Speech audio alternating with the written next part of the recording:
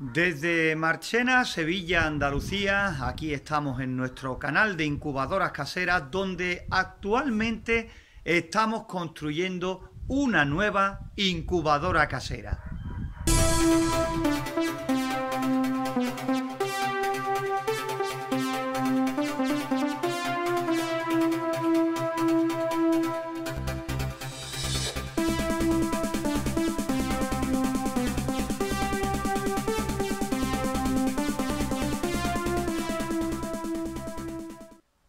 Hoy nos hubiera gustado pues darle un adelanto mayor a nuestra incubadora, pero la verdad es que desde hace unas semanas el tiempo no acompaña aquí en Marchena, Marchena, Sevilla, Andalucía.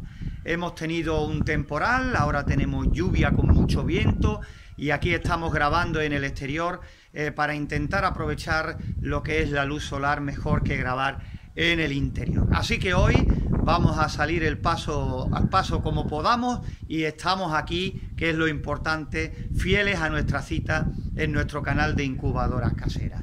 También hemos preparado una serie de listas de reproducción para que tengas toda la información concentrada eh, en unos pocos vídeos según lo que estés buscando. Por eso aquí arriba te dejo el enlace donde podrás encontrar varias incubadoras caseras que hemos hecho ya en nuestro canal explicadas paso a paso. En ese enlace tendrás diferentes incubadoras e iremos incluyendo las incubadoras que vayamos finalizando a lo largo del tiempo, para que lo tengas todo, todo bien concentrado. Y muchas de las preguntas que nos hacéis van encaminadas al tema de la humedad relativa. Cómo subir la humedad, cómo bajar la humedad qué hacer cuando tenemos en nuestra incubadora la humedad relativa disparada. Ya veo, nos damos cuenta que el tema de la humedad relativa os trae de cabeza a muchos de vosotros en diferentes partes del mundo.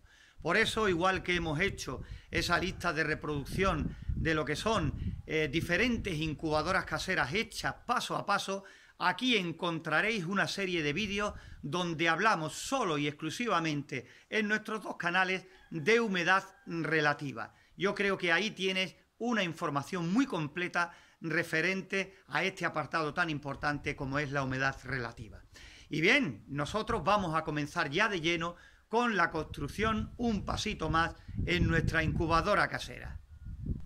Bueno, nos metemos de lleno en la incubadora casera que estamos haciendo y ahí tenéis una caja de registro donde vamos a meter todo lo que es el tema de conexionados, bueno, por lo menos la mayoría de las conexiones, no todas, y también vamos a empotrar nuestro termostato, el STC1000, para que quede recogido y no afecte para nada la movilidad del interior, porque podíamos haberlo empotrado ya dentro de la caja eh, y ya tendríamos eh, en la parte frontal pues también nuestro termostato para andar con él mucho mejor, pero nos perjudicaría el movimiento en el interior. Por eso le hemos hecho esta ranura aquí en la parte de arriba y quedaría empotrado de esta forma, ¿vale? Así quedaría nuestro termostato y desde ahí pues podríamos manejar perfectamente lo que son eh, los parámetros por si tenemos que retocar, en fin, para lo que nos hiciera falta. Desde aquí, desde esta toma se aprecia mucho mejor, ¿veis?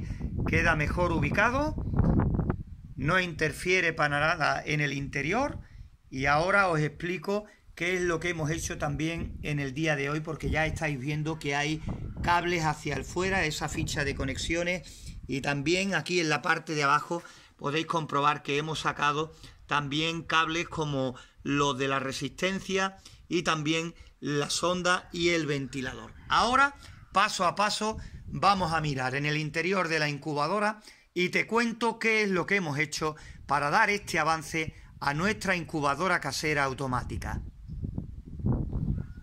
Pues aquí estamos con la imagen del interior un poquito más ampliada y vamos a contaros qué hemos hecho en el interior, que parece que no hay nada, pero creedme que sí, que hemos hecho cositas, ¿no? Por ejemplo, en el caso de la resistencia de silicona, eh, ya estáis viendo que hemos sacado estos dos cables eh, al exterior y lo hemos hecho por un agujero que hemos abierto justo debajo de la caja de registro donde irá nuestro termostato STC 1000. Siempre os digo que hay que buscar, hay que planificar antes cómo vamos a poner eh, los componentes y hacia qué lado quedarán eh, sus conexiones para así evitar incubadoras con cableado excesivo, ¿no? Cables colgando por todas partes que después, aparte de que estéticamente queden peor, por supuesto, eh, pueda provocar averías como que el cable se queme por no estar bien puesto junto con la resistencia de silicona y a la vez el cable del ventilador lo hemos sacado por otro orificio que hemos hecho un poquito más arriba. Ya aquí en el exterior hemos puesto una ficha de empalme. ¿Por qué? Pues porque como el ventilador lo vamos a poner siempre en funcionamiento continuo, igual que el motor que trae la bandeja de volteo porque es súper lento, pues hemos decidido poner eh, esa conexión aparte ya que irán siempre encendidos. Lo hemos traído aquí al exterior. Como veis, hemos colocado esta regleta de dos tomas de, ficha de empalme porque aquí vamos a conectar este cable que es del ventilador y más adelante también el del motor de la bandeja de volteo. Estarán siempre conectados.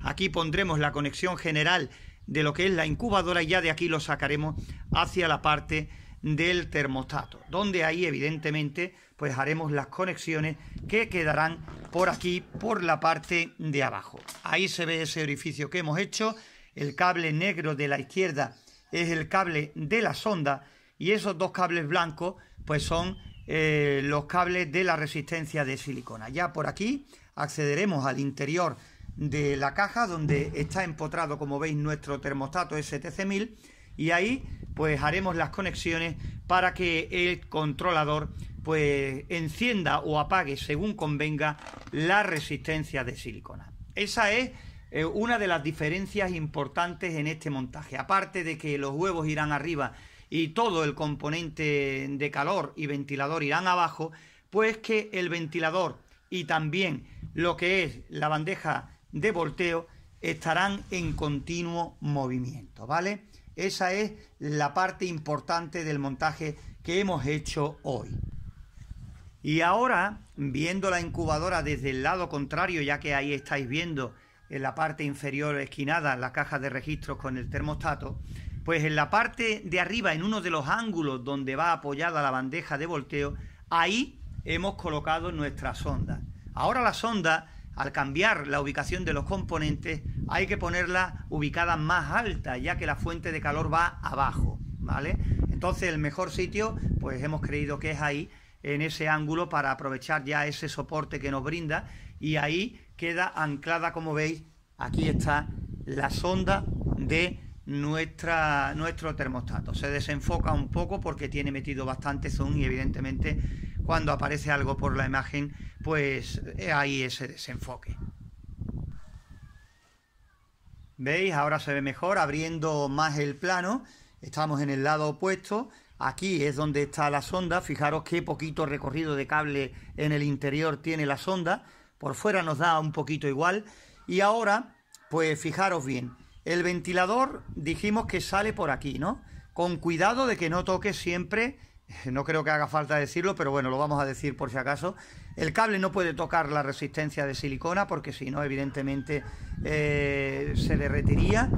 Pues lo sacamos por aquí sin tocar y ahora, como digo, hay que pensar todo esto. Al poner la bandeja de volteo, pues el cable del volteo lo pasaremos por debajo y lo sacaremos por el mismo orificio que queda un poquito más abajo de, de aquí. Entonces, el cableado interior seguirá siendo mínimo y después en el exterior tendremos todas las conexiones lo más cercanas posible, ¿vale? Yo creo que nuestra incubadora nos queda eso, eh, conectar el termostato que nos hubiese gustado hacerlo en el día de hoy, pero el tiempo nos lo ha impedido totalmente. Nuestra incubadora casera va tomando forma y bueno, ahora lo mismo que al principio os mostraba, eh, aquí, en este margen, diferentes incubadoras caseras hechas paso a paso y te presentaba también otra lista con los vídeos más importantes para que te quede claro el tema de la humedad relativa. Aquí te dejo ahora este enlace también pulsando ahí tendrás todo lo relacionado con la temperatura en nuestra incubadora casera. Consejos importantes para conseguir una temperatura homogénea en el interior de nuestra incubadora. Yo creo que con estas listas de reproducción conseguimos muchas cosas importantes. Cómo hacer la incubadora, lo primero, y después cómo controlar la humedad y la temperatura. Ahora para seguir os voy a dejar con varias incubadoras vuestras.